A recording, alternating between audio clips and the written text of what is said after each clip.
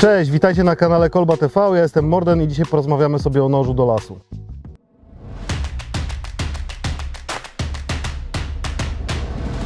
Jak widzicie, mamy tu dzisiaj trochę różnych narzędzi, nie tylko noże.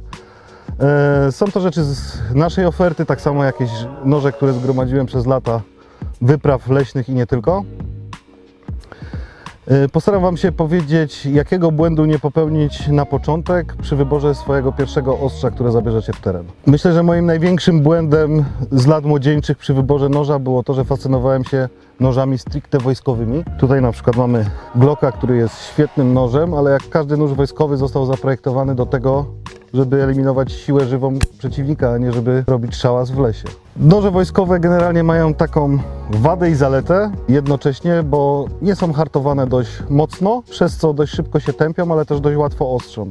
Poza tym zawsze mówi się, że rzeczy wojskowe są niezawodne i skonstruowane tak, żeby wytrzymać wszystko. No jest to generalnie prawda, ale głównym też kryterium sprzętu wojskowego jest to, żeby był tani w produkcji. Najczęściej polecanym nożem do lasu są to noże Mora. Tutaj mamy model Companion w dwóch wariantach. Ten akurat jest stainless, czyli nierdzewny. Tutaj mamy nóż carbon, czyli ze stali węglowej. Model nierdzewny na pewno poleciłbym wszystkim amatorom wędkarstwa, żeglarstwa, wszędzie tam, gdzie nóż będzie miał kontakt z żywnością. Na pewno stal nierdzewna lepiej się sprawdzi. A jeżeli już będziemy dbać o swój nóż, po każdym użyciu go wycierać, dbać, żeby nie dostał wilgoci i będziemy używać go do jakichś tam leśnych, obozowych prac. Stal węglowa oczywiście w tych tańszych modelach na pewno będzie miała e, dużo lepsze właściwości niż stal nierdzewna. Kolejnym takim klasycznym nożem jest Opinel. Mamy całą masę rozmiarów, modeli.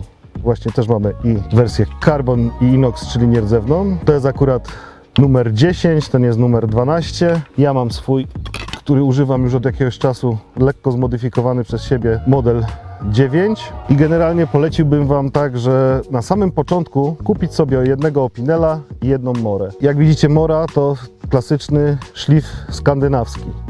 Tutaj mamy pełny płaski szlif, zupełnie inny typ ostrza, zupełnie inny typ noża, zupełnie do innych prac, zupełnie inaczej będzie się nim pracować. Te noże nie są specjalnie drogie, jakościowo jak najbardziej sprawdzą się w lesie, czy w obozie, czy przy budowaniu jakichś nawet większych szałasów, takich innych rzeczy. A dzięki temu, jeżeli to będą Wasze pierwsze noże, czy jedne z pierwszych noży, jesteście w stanie sobie wyrobić opinię, jaka jest różnica w użytkowaniu, po prostu się tego nauczyć. Mora też produkuje trochę droższe, bardziej zaawansowane modele.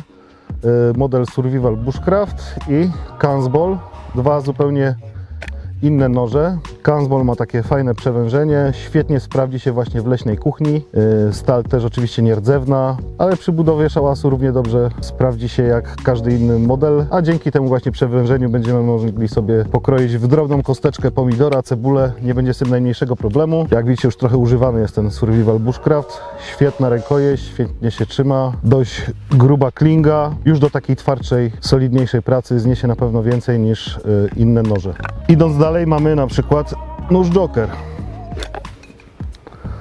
To jest akurat nóż wzorowany na XIX-wiecznych nożach używanych przez kanadyjskich traperów. Klasyczna taka bushcraftowa konstrukcja ze skórzaną pochwą. Jest to już nóż odrobinę droższy i myślę, że już noży tych, które teraz będę Wam pokazywał, na pewno nie poleciłbym komuś początkującemu. Ktoś, kto już y, kupuje swój drugi, trzeci nóż, y, jeżeli doszedł do wniosku, że powinien mieć nóż dłuższy, krótszy, z innym szlifem, już może zastanowić się nad wyborem takiego noża, który świetnie sprawdzi się właśnie w jakichś obozowych pracach, czy nawet jako nóż myśliwski. W odróżnieniu od klasycznej konstrukcji noża Joker mamy nóż Rójkę. Jak widzicie, tu już nie ma drewna, są nowoczesne materiały, G10, plastikowa pochwa, zaczyskiwana. Możemy sobie ją w różny sposób na pasku montować. To już jest kwestia indywidualna, o gustach się nie dyskutuje. Jedne osoby będą bardziej wolały klimatyczne, skórzano-drewniane e, produkty, część osób bardziej doceni nowoczesność.